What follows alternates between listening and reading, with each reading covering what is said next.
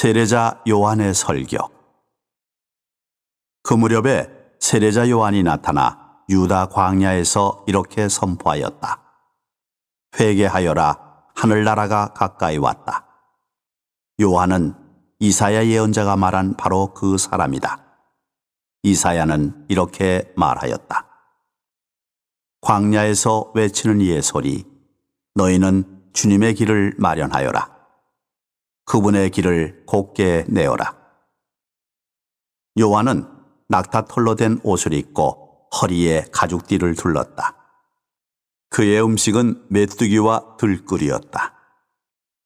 그때에 예루살렘과 온 유다와 요르단 부근 지방의 모든 사람이 그에게 나아가 자기 죄를 고백하며 요르단 강에서 그에게 세례를 받았다. 그러나 요한은 많은 바리사이와 사두가이가 자기에게 세례를 받으러 오는 것을 보고 그들에게 말하였다. 독사의 자식들아, 다가오는 진노를 피하라고 누가 너희에게 일러주더냐? 회개에 합당한 열매를 맺어라. 그리고 우리는 아브라함을 조상으로 모시고 있다고 말할 생각일랑 하지 마라.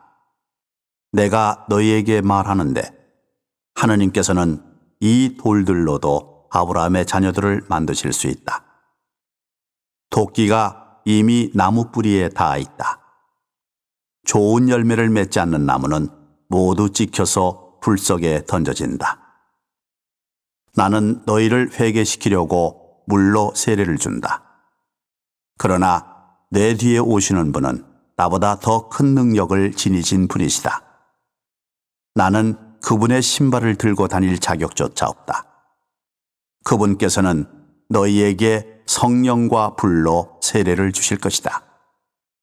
또 손에 키를 드시고 당신의 타작마당을 깨끗이 하시어 알곡은 곡간에 모아들이시고 쭉정이는 꺼지지 않는 불에 태워버리실 것이다.